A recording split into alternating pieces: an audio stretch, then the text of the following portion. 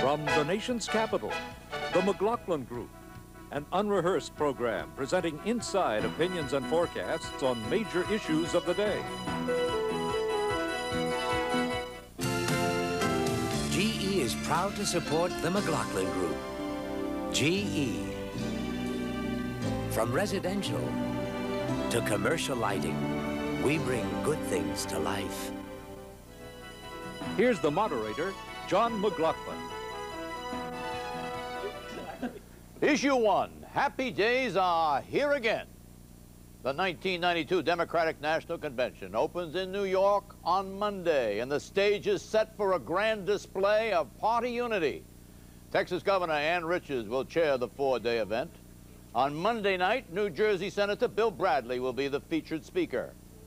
On Wednesday, New York Governor Mario Cuomo will put Arkansas Governor Bill Clinton into nomination for President of the United States. Governor Clinton is assured the nomination on the first delegate ballot. Blacks are on board, despite Jesse Jackson's problems with an all-Southern ticket. The only potential troublemaker is Jerry Brown. The former California governor has yet to endorse Clinton and to release his 613 delegates. But by close of business Wednesday, Brown is expected to join the love-in. And finally, this week, Governor Clinton ended the suspense and named Tennessee Senator Albert Gore as his running mate. Question, what will be the big news out of the Democratic Convention next week? Freddie the Beetle Barnes. There will be no big news, but the story will be Democratic unity. This will be an extraordinarily successful Democratic convention, and that's the problem. The problem is they will all be there. Every time the word choice is mentioned, except in relation to schools, there will be practically a standing ovation in favor of the absolutist uh, position on, uh, on abortion, which is not the majority position in this country. They'll cheer for gay rights. They'll get all excited about the embrace of Jesse Jackson and Clinton.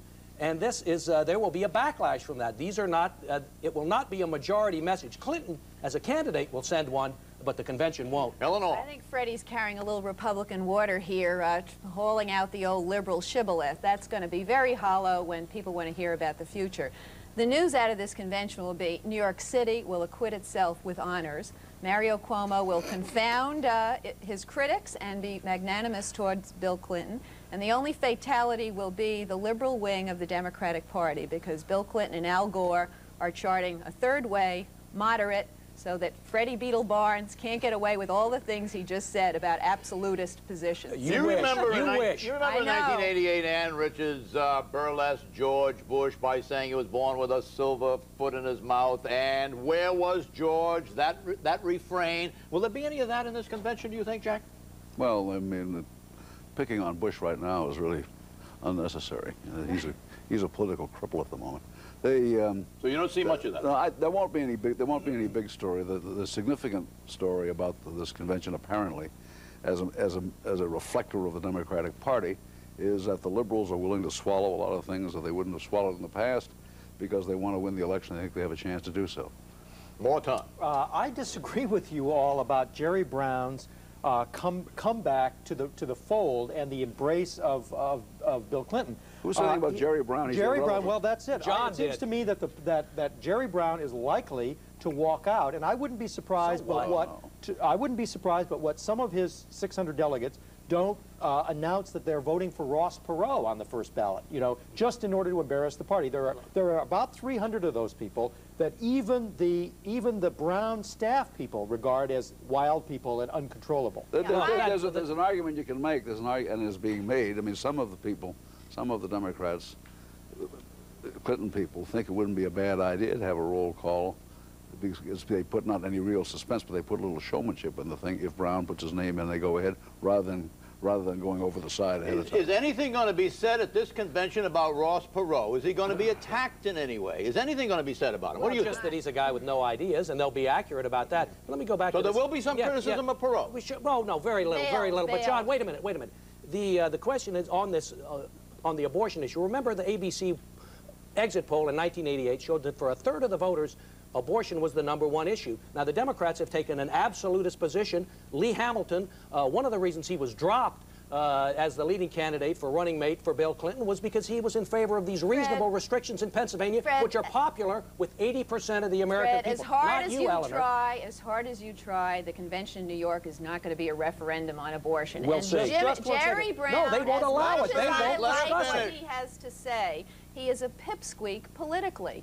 Fred was right his first time around when he said this is going to be Democratic unity, and The- this is but- but- a new Just a. Democratic Party. Fred- the New York Democrat is credible to win an election. Fred San does. Francisco. Democrat Fred, is gone. Just a second. Fred has a point that Bill Clinton and Al Gore, you're quite right, they are the DLC twins. They're both, this is the takeover. DLC, Democratic Democratic Leadership Council, a rump conservative group within the What- no Democratic longer Party. rump. Wait a minute. No longer rump. They are now, they were d- despised by the liberals for years. Now they are the party. I mean, both, both nominees are DLC people.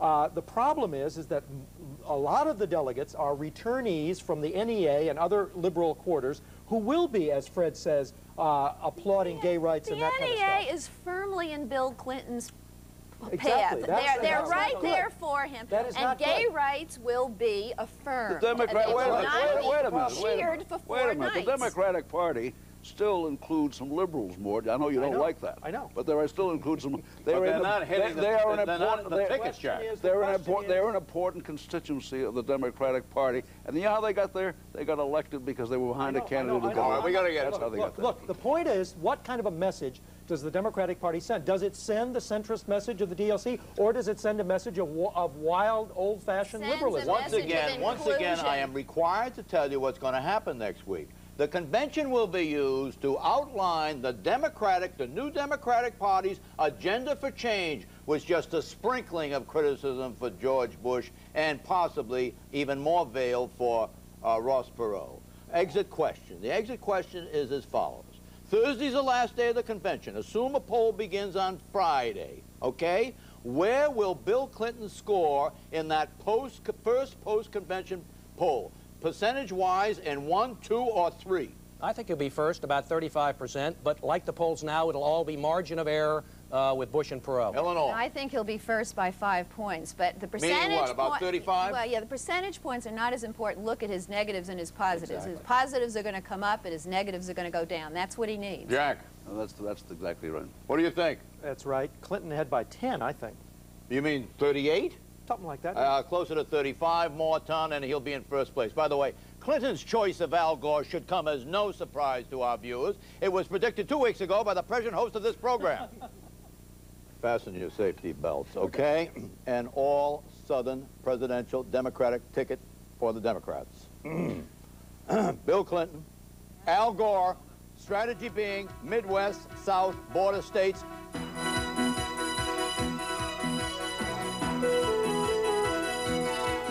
Issue two, baby boomers unite. The running mate I have chosen is a leader of great strength, integrity, and stature. We have watched for 12 long years as the Republican administration, still in power, has driven this country into the ditch. Let's take a closer look at the Democratic vice presidential nominee. Born Washington, D.C., son of Albert Sr., a U.S. Senator from Tennessee, 18 years, and a U.S. Congressman, 14 years. 44 years of age, wife Mary Elizabeth Tipper Gore, four children, Baptist, Harvard University B.A. cum laude, U.S. Army volunteer enlisted man, two years, Vietnam War, one tour, six months, Tanglewood Home Builders Company, Tennessee, founder and president, five years. The Nashville Tennessean daily newspaper, editorial writer and investigative reporter, five years. U.S. House of Representatives, Tennessee, eight years. U.S. Senate, Tennessee, seven years, six months, and currently. President of the United States, candidate for 1988. Author, Earth in the Balance, Ecology and the Human Spirit. Americans for Democratic Action, ADA, premier liberal rating system out of a perfect liberal 100, 75 for 1991, 65 career. Net worth, $500,000. Was Gore a good choice? Eleanor Clift. I must say, looking at some of that food footage, it looks like the old beefcake uh, ticket. Uh, yeah, it is a good choice. Uh, first of all, it reinforces the theme of generational change. His environmental credentials will play well in California, and Tipper Gore will help take some of the heat off of Hillary. Uh, Tipper was made fun of four years ago for wanting to, pressuring the music industry to put labels on records, and that issue has come full circle. It's now hers. Yeah, but you Let me say, I want to hear from Jack. He's, I didn't say I like it, but it helps politically. Gore, I'm Gore's a good um, Gore's a good choice in the sense that, that he's a very substantial guy on a lot of issues. He's substantial on foreign policy. What about geography? National security. Oh, I don't think that matters too much. I, I find it a very he's a, he's very valuable to him in the sense that you look at the guy and you know he's solid. There's something there. I don't think he is. Um, I don't think he is a conventional political asset at all, except in a different sense. The, the, people talk about generational change and environment. I think those things, the environmental thing is a very valuable card. But where it's important is with white Southerners, culturally conservative white Southerners. If he can help get that white vote up at all in some of those southern states with a three-way race, he might actually make a difference. There was a way he cases. could have. There is a way, though, Jack. I, I agree with you. Uh, if Gore does that, that would be incredibly important and would cinch the election for Bill Clinton. But the way he could have done that was by putting Sam Nunn on the ticket. Nunn, I think, surely uh, would have raised uh, the white vote Well, uh, for let- Clinton let in the me- let me- South and won a lot of those states. The- Nunn was the- just let- with let them. Jack real, make his the- the real question about this is why couldn't Clinton himself do that? That I mean, you would expect. The fact is, you've already got a Southern Well, candidate it's a in three-way race. Well, It's a just a second. three-way race, and he wants to consolidate his base, and then he hopes that if California, for example, if, if, if Perot collapses, the change voters in California and those states will then go to him Okay, because the his other- base is then secure. the other key thing- the other and key- then he also pulls he pulls the energies and resources away from Bush The other into, into the South, the other- so that Bush cannot cannot function as actively in California Oh, how, elsewhere. oh, how wise you are. Now, the, look, uh, the, Gore is safe. He is. He has been vetted. He's been. He's been through campaigns before. There's no. There's no scandal about him. Just a Absolutely second. true. Secondly, And that's not sec- necessarily just- true in just your a minute. candidate Just, just a from minute. Yes. Oh, sure it is. Well, Sam- we don't know that. Okay, we always okay. think that, but okay, this the guy other is thing, just a second, through the mill. Just a second. Gore, Gore is is a great campaigner among blacks. I've seen him. He, he really turns on this southern accent and he becomes a, like a preacher. The, the, Clinton the, doesn't the one need that. He disadvantage, does just a that. second, the one disadvantage with Gore is that he is an environmental extremist. I mean, he will. There will be film of him from Rio with a headband on, you know, dancing around with uh, with, You with native dancers. You no, no. more. And and the fact is that he wants to shut down industry, including the auto industry, in order to have a 45 mile per gallon uh, uh, CAFE The fact standard. is, the I mean, people that this ticket wants to appeal to like Al Albert Gore's environmental vote- position a they're lot more already than they like vote for the George ticket. Bush. No, they don't. And Clinton, Clinton should gonna get vote for some the ticket. credit for choosing someone that who has the potential to overshadow him. I mean, Al Gore is Bill Clinton without the personal You never, baggage. you never overshadow the presidential candidate. a Gore lot can't of people are because Clinton- saying they'd like to flip the ticket. Oh, That's well, a I haven't heard thing anybody to say. do. I haven't heard anybody say that, but the uh, the owner of the New I have. Republic, Marty. Let's put that to an exit question test uh, view. What's the probability that come November, uh, uh, Gore will have eclipsed uh, the uh, the number one man on the ticket? Zero, none. What it's not going to happen. No, that doesn't happen, but Clinton has created someone who will be a rival in 96. I'm talking about when I just Presumably, say if the ticket, I- if, I said if the ticket doesn't, doesn't win. Jack, what's the probability? Could that happen? Do you think? It's about the same as that Quayle will eclipse Bush. About the same. What do you think? I don't think there's any. Al Gore is not dumb enough to to uh, to eclipse Bill Clinton I think and, and I, risk I his disagree. I, at least on the basis of the speeches we heard the other day, I thought there was a lot of presence there. I think he's going to get a lot of press. I think you've got you've got respectability Well, there. Let me get, let's get out on this All que- right. exit, another que- exit question. How give, how many points? Well, we, we frequently say, we frequently hear the wisdom is that the vice, the second person on the ticket doesn't mean anything. How many points will Gore deliver in the election to uh, Clinton? I think he'll deliver none, but he won't lose any either, which do is you think? important. I say 1.5, which could be the margin of victory. Right. That would be a remarkable deliverance, would it not? No, Fred has got it right. The important thing for a vice president is that he doesn't. do You don't any think he's going to deliver? You think he's going to deliver zero? What do He you is think? I think he could deliver some some environmentalists in Washington and Colorado, and also some Jews in New York. I think it's a half a point to a point.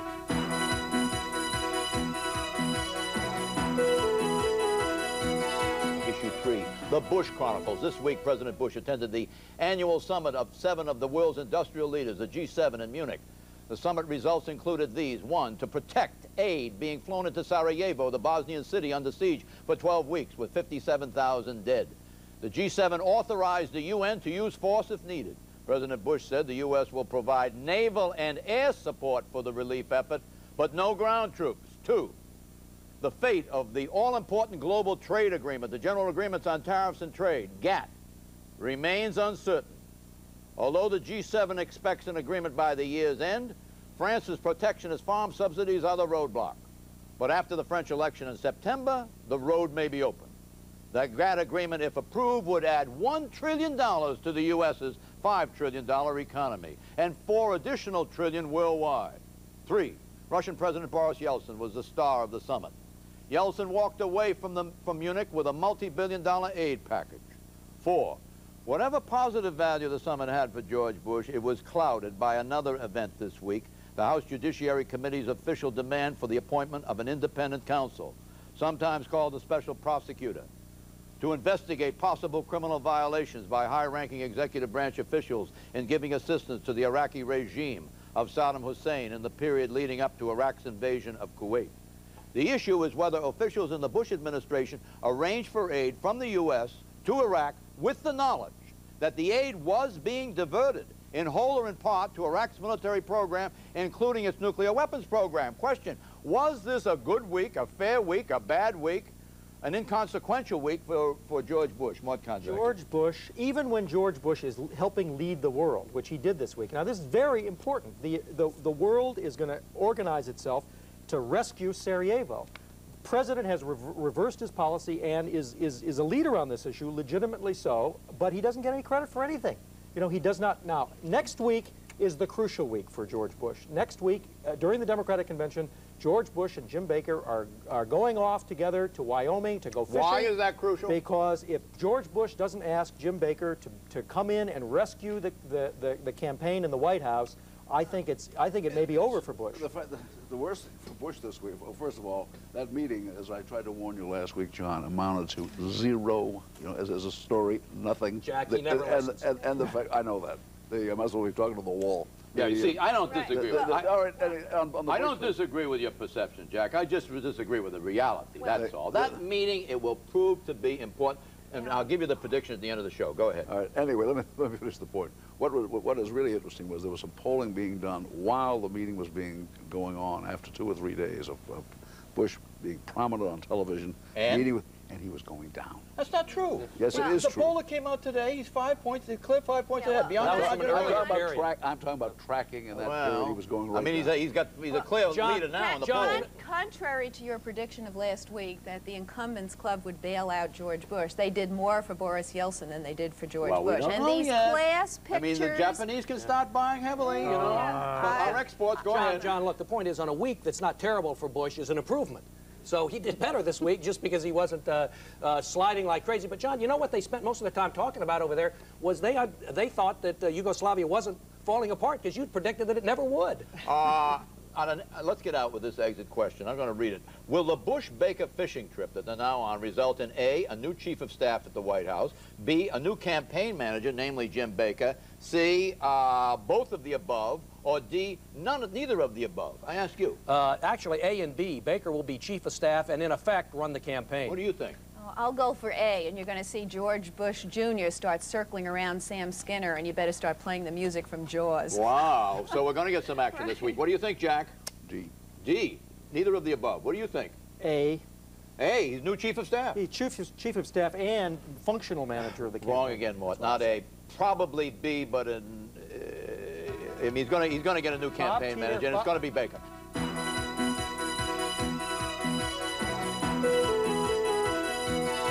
Issue four, Perot Item, Perot's people. Some new names are now backing the Texas billionaire. Calvin Butts, Ace Greenberg, Katharine Hepburn, Leonard Lauder, Dennis Miller, Will, Willie Nelson, Paul Nitze, Felix Rohatyn, O.J. Simpson, Martha Stewart, Andrew Tisch, Paul Warfield, and John White. Item, Inspector Perot. A private detective was hired for a period of a year and a half, 18 months, by Ross Perot to gather information, both personal and professional, on an executive who worked for one of Perot's business competitors. So reported the New York Times this week. Perot, however, having been familiarized with the story, denies any involvement. I was not involved directly or indirectly.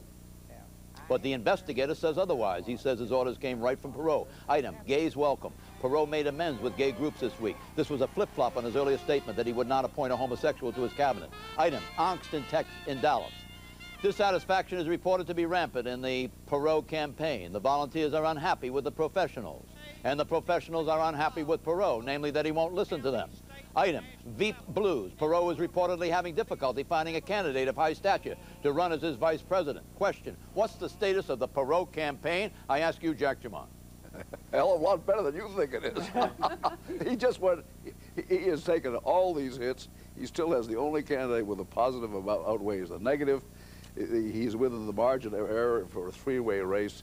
They, they are having they are having beefing from volunteers, which is no surprise. Jack. you get beefing from professionals in your field. 63% of his supporters are weak supporters. In addition, Well, his, what about negatives have, Bush's? his negatives have doubled. They've gone from More 14 to what? 31. 31. 31, That's more than double. More than double. Yeah, Look, and what, now, if- how what, can and what if George Bush is a 46? Well, forget Bush. poll? We're talking about 46. Perot now. Get- He's get- running get- against Bush. I mean, Yeah, but, but John, the my point is that Perot is There's, beginning, there's, getting there's dissension in the ranks, but he hasn't felt it in, in the polls yet. But I, it's beginning to look like he's really got a tough fight to actually win. But I, you know, he's still a contender, and they're making a lot of concessions to, to conventional politics. They're now going to have regular press briefings because they figured out if they don't gin up some news, the press will go out and find the We're going to negative get out. Five seconds each. The, the horse race numbers are always a lagging indicator, and by backing down on gay rights, he showed he's just a typical bully that when anybody pushes back, he'll back down. What do you think? and, and, you know, every, every time he has to deny something new, one of these days,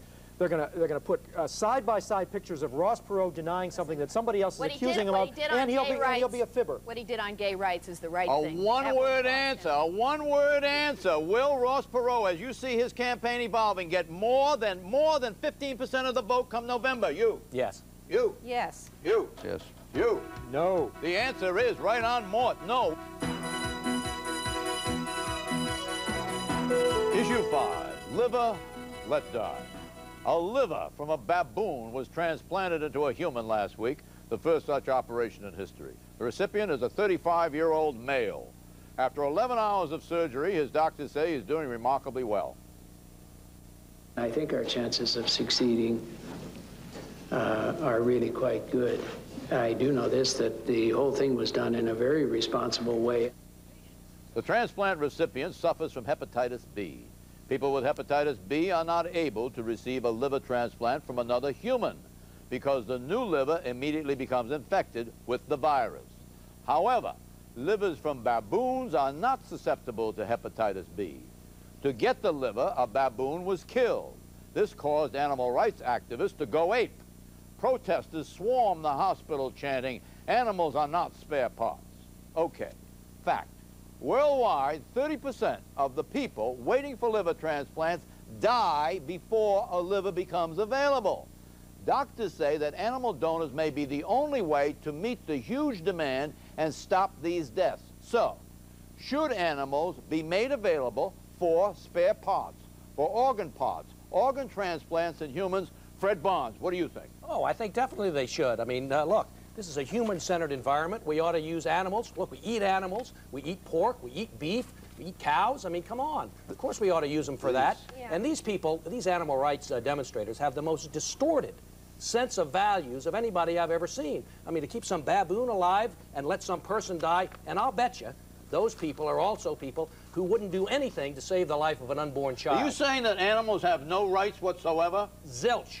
Zilch rights. Hey, wait a minute. Okay, Just a second. I- Look, there is there is an issue, but it's a human it's a human issue to treat animals humanely, so that you don't you know you don't. How uh, did they kill the baboon? Well, I hope that they put it to sleep. They and, uh, and- anesthetized the exactly, baboon. Exactly. but they and- did not wake the baboon. they removed the liver when the baboon was under put the- anesthesia. You call that humane? I do. I call that humane, uh, and I think that the animal rightsers have done one favor for everybody, and that is to see to it that laboratory animals, for example, are not just cut up and carved up and so the on whole- in, a, the whole in, a, in, point- a, in, in an outrageous manner. The whole point, I mean, the only the, these baboons are being raised being bred only for experimental purposes. That's the whole. I mean, these baboons weren't taken out of the, out of away from their family Well, in do the you think jungle. that, is they that were. humane or inhumane? Well, I don't know. They're also breeding a bunch of baboons to be talk show hosts. That's inhumane. I, I should point out that television sets are placed in the zoo of the New York Zoo. And the, the gorillas watch the television sets. And that program, which has the most tranquilizing effect upon gorillas, is this program. Right. Yep. And They- what do you do in identify your... Is there a, is there a lesson there for us? Yeah, and- and do you watch this the national... the New York Times. Go You ahead. watch. You probably watch the National Geographic specials in your spare time too. Listen, judging from the company I keep, you'd think I, I would be pro baboon, but I'm not. I mean, we have crossed this ethical divide already. We ra we raised uh, minks on a ranch to provide uh, mink coats for people, and I think this could be a nice retirement hobby for you, John. Baboon raising. Predictions, Freddie. Uh, my sleeper candidate uh, this year is Mike Huckabee, the Republican running against Dale Bumpers in Arkansas. He's never run before. Is going to surprise some people. You going to win? Uh, he has a chance of winning. Oh, Big deal. what, what, what an absolutely galvanizing prediction. What do you say? The, uh, the tail hook scandal and the sexual harassment uh, charges in the Navy are going to accelerate the lifting of the restrictions on combat for women in the military. Jack. Dale Bumpers couldn't be beaten with a stick. Yeah, the the uh, star of the convention will be Bill Bradley. The Washington Redskins will not move to Virginia. They, they're, uh, uh, the, the people of Virginia will not, don't want them there, and, uh, and uh, this, the do. District of Columbia Come on. will. Uh, Oh, will- my God. The, the, you want a needle or a hook? You hook? got it. Go. Uh, the GATT, the Global Agreement on Tariffs and Trade, will pass by the end of the year after the French election. Bulletin. Virginia is for lovers and the Redskins. Next week, live from New York, it's the Democrats. Bye-bye. The McLaughlin Group. GE is proud to support the McLaughlin Group. GE. From residential to commercial lighting, we bring good things to life. For a transcript, send $5 to Federal News Service, 620 National Press Building, Washington, D.C. 20045. Specify program date. To obtain a free McLaughlin Group Viewer's Guide, write Viewer's Guide, Box 786, Madison Square Station, New York, New York 10159. Topics are selected by Mr. McLaughlin, and the opinions expressed are solely those of the participants. Join us next week, Monday through Thursday, beginning at 8 p.m., as the MacNeil Lehrer News Hour teams up with NBC News for complete coverage of the Democrat.